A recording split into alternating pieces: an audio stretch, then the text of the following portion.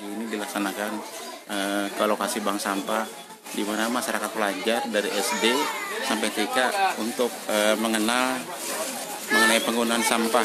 Ini adalah anak-anak TK yang sudah melakukan eh, cara penggunaan sampah. Ini adalah bank sampah yang berada di Jalan Citrawati, Banjarmasin. Eh, kegiatan ini dikoordinir oleh eh, anggota Koramil Banjarmasin Timur.